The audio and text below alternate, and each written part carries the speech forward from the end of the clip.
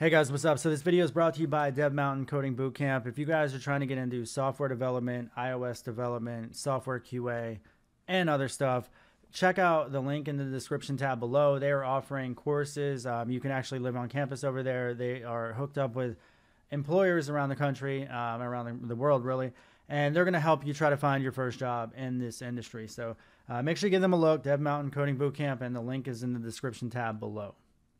Hey guys, what's up? So in this video, we're talking about Django and Visual Studio Code, and it's really just another example of why Visual Studio Code is my favorite editor.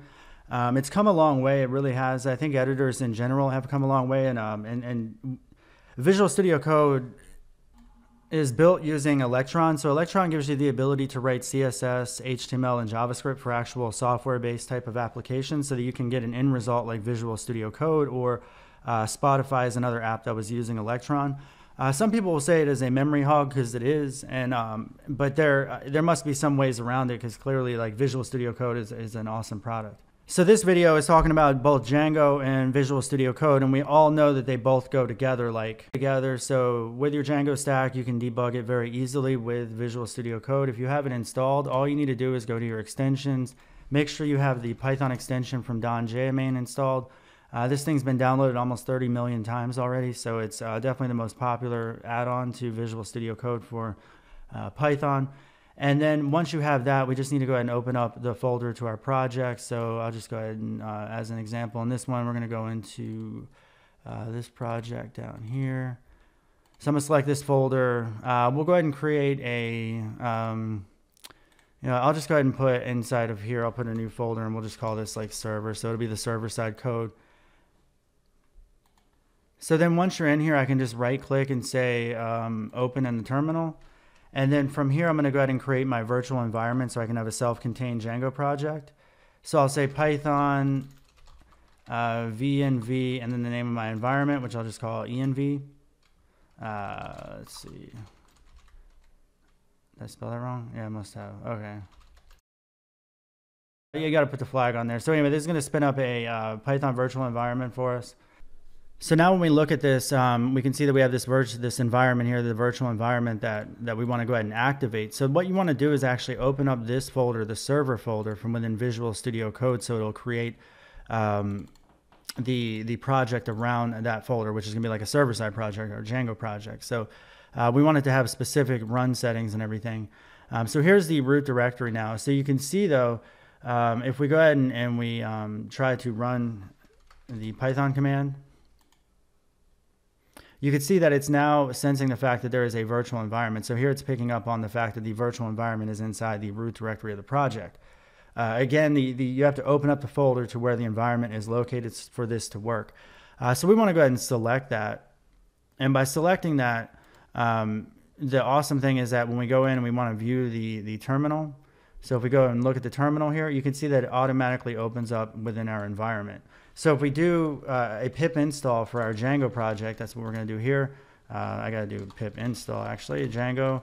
Um, so when we install this thing, it's going to install it locally into our virtual environment. So it's not going to um, you know mess up any other projects that you may have on your machine uh, that are also running Django because this is going to grab the latest version, which is 2.1.5.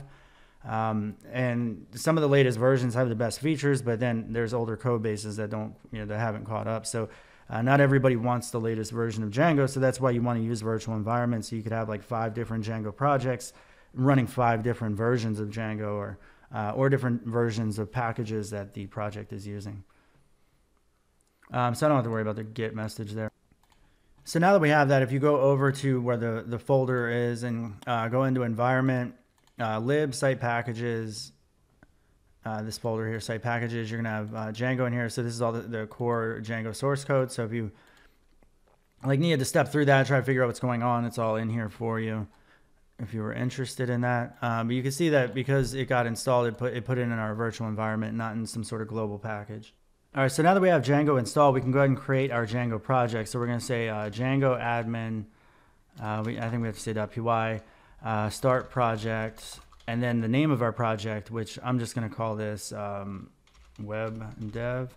And then I'm going to give it the dot, meaning uh, don't create another web dev folder from within this. So it's only going to have one. So uh, your manage.py is in the folder that is in the root project. Uh, so anyway, that's a little shortcut there because otherwise there would be an additional web dev folder that you'd have to get into to see the manage.py file and all that stuff. So uh, that avoids that. Um, also, when you have this uh, this manage command, um, you, you, can set it up to have uh, Visual Studio Code actually go ahead and fire up uh, Django every time. Um, so if we go and press Command Shift P and then uh, select our Python interpreter, make sure the virtual environment is selected. Uh, go to our debugger and then click on this little gear icon. And it might take a second to pop up, but this is going to create a configuration file for your uh, Django project. Um, or really, it's just for a bunch of different Python projects, but you can debug a Flask project or Django or other just regular Python apps. Um, so when we go to our little debugger here and um, let me go back to this there. So we go to our debugger. I'm going to want to select Python Django here. And then if I go ahead and press play, um, this is going to go ahead and fire up the, the dev server from within Visual Studio Code. You can see it's listening on localhost 8000. So if I go ahead and navigate over there, you can see that we have a working Django application. And we're able to fire it up and stop it from the uh, Visual Studio command line or uh, Visual Studio Code application, which is really awesome. Uh, where it gets even better though for uh, development is when you have to actually step through your code, try to figure out what's going on.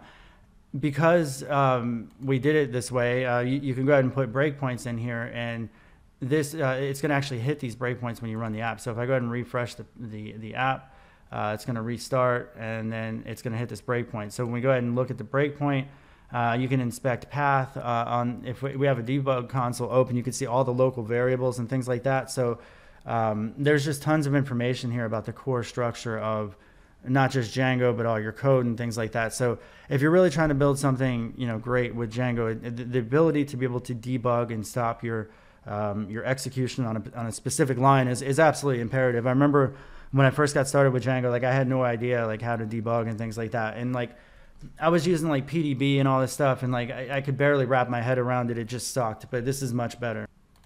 So if I want to go ahead and extend this app, I can go ahead and do that. I'll create a uh, views.py file uh, or py. And uh, here we're going to go ahead and create the path for our root directory.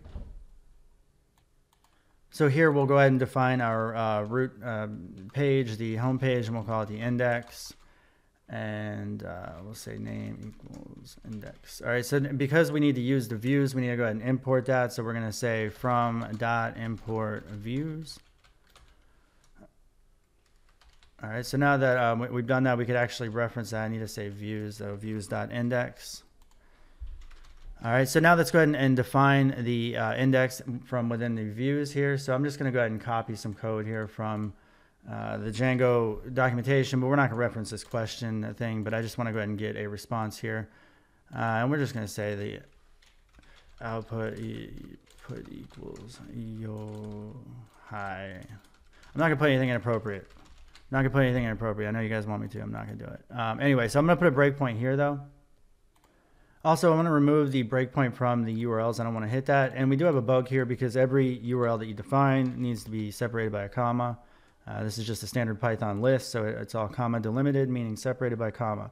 Uh, so anyway, let's go ahead and uh, fire this back up and hope that we hit the uh, the view breakpoint.